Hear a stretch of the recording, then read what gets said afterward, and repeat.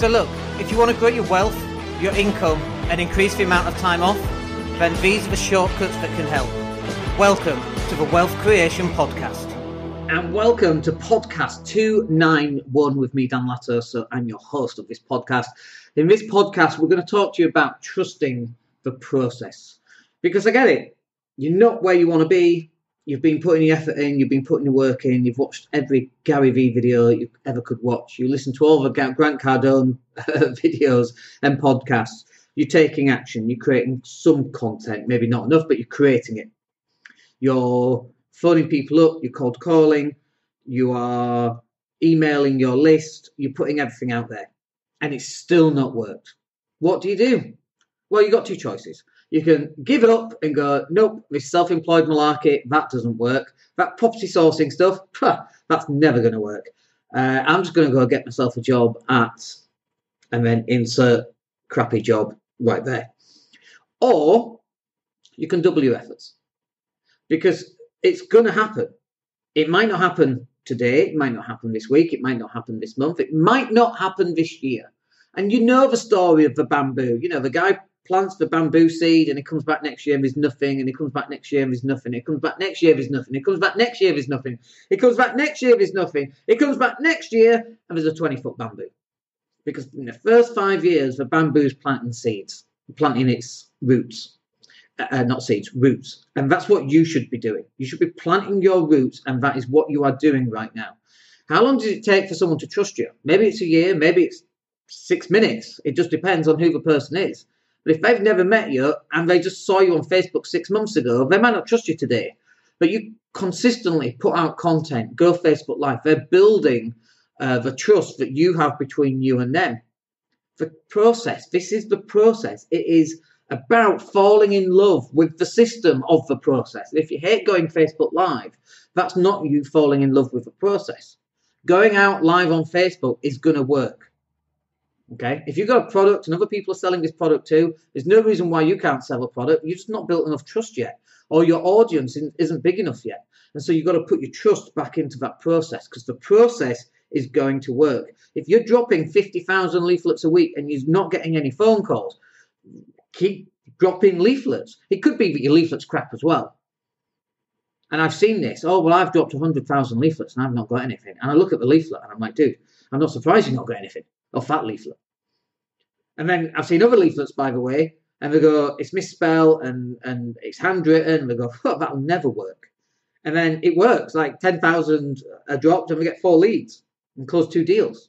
And we don't know what works. We don't know what does work. But what we do know is that when you stick with the process and through trial and error and a process of elimination, if you're climbing up the mountain, okay, and you find yourself going sideways, you're never going to get up the mountain. And eventually you realize that and you change direction. And then you start going down the mountain. You're like, hang on, it's getting a bit warmer.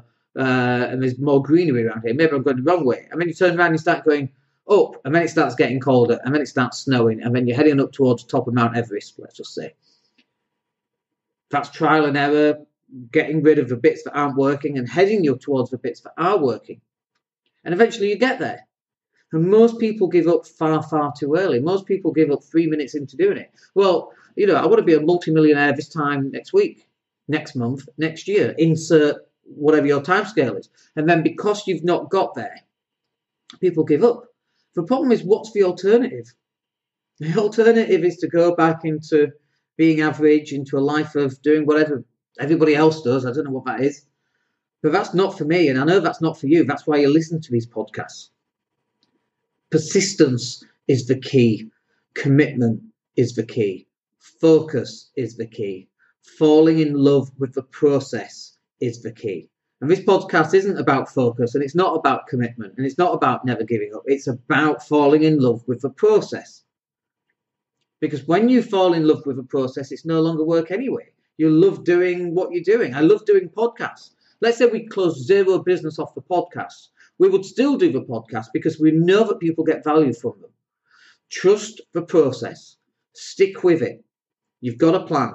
If it's a good plan, you keep with the plan. And not all plans are good, by the way. That's why having a mastermind or other people to talk about your plan, that's why we create the mastermind uh, product, It's not a lot of money. You can get to come into our mastermind group on Facebook and we go live and we share wins and we share losses and we share all sorts of different things. And you can share your business plan. People go, What the hell is that? And you go, Okay, I'll change it. And then you change it and they go, Yeah, that's better. And you're using, you know, group effort, group think to help you move forward. But eventually you have to fall in love with the process because if you hate going Facebook Live, you're not going to go Facebook Live once or twice or three times a day. Should you go Facebook Live once or twice or three times a day? Well, it certainly depends. You could go live in a group, live on your main um, personal page, and then live on your pers- on your business page. And then you record a video, and then you upload it to LinkedIn, and then you take that video and you upload it to YouTube. There are lots and lots of things, extra things that you could be doing. But what I found is that when things are not working properly, it's usually a marketing problem. Fall in love with creating content. We just created uh, something a couple of days ago, and it's called the 90 10 rule. It's not the 80 20 rule, that's Kotler's rule. Um, I think it was Kotler. Um, the 90 10 rule is where out of 100% of marketing, you create the 10%. We take that 10% and we turn it into another 90%. So you're only creating a small amount of content, and then we take all that and then we create bigger stuff out of it. And that's what you should be doing. Fall in love with the process create smaller pieces of content, but enjoy what you're doing.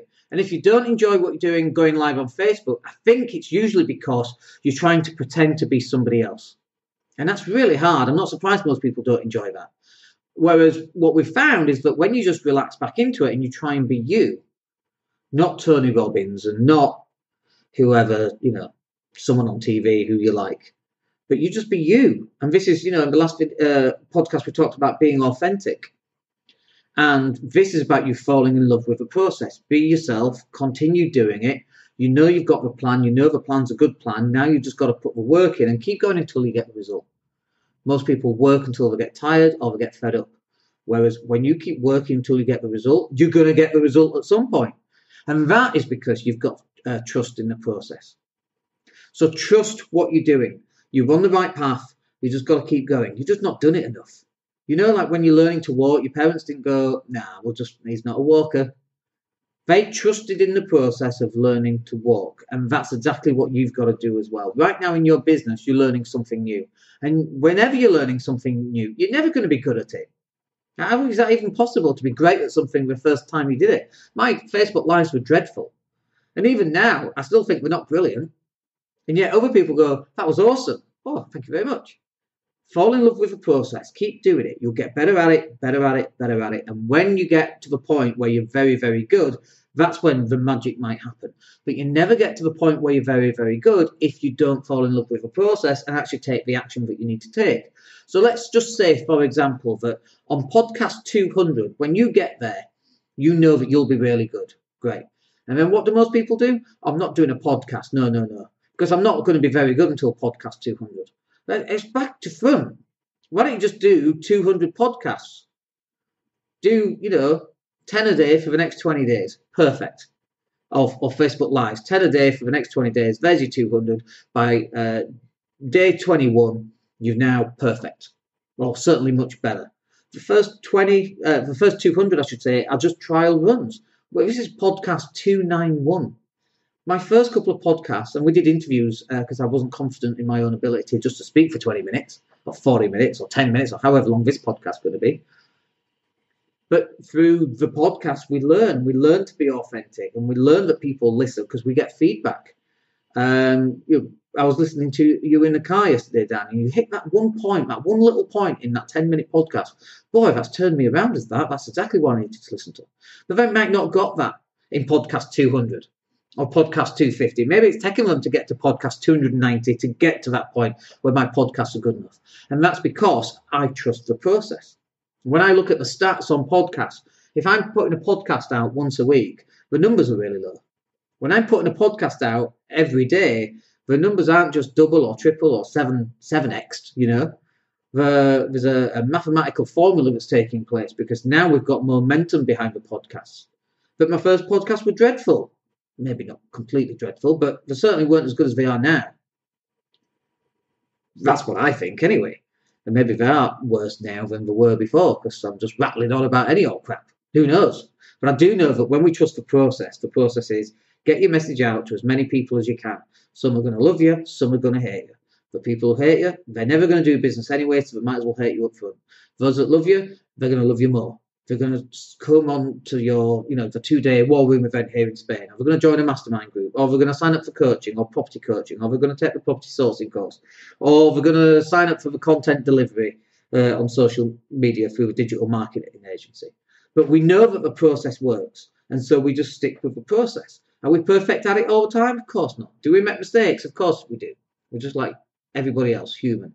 But we know that the process will get us to where we want to get to. So we don't give it up just because we've not got there yet. So stick with the process and let's catch up with you in the next podcast. Hey, it's Dan here. Thank you for listening. Really appreciate each and every one of you. Please click like or subscribe to the entire podcast.